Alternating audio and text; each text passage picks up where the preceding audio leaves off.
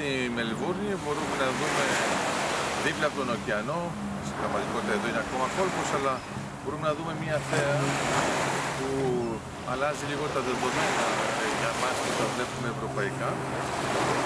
Και μας επιτρέπει να ξεχαστούμε όσο αφορά πολιτισμικά και να δούμε κάτι που είναι πιο κοντά στην ανθρωπότητα, κάτι που μας αγγίζει πιο ολικά και να φανταστούμε ότι και εδώ, από αυτή την πλευρά του κόσμου, βλέπουμε τον άλλο ένα διαφορετικό βλέμμα που μας κάνει ουσιαστικά πιο ανθρώπινο.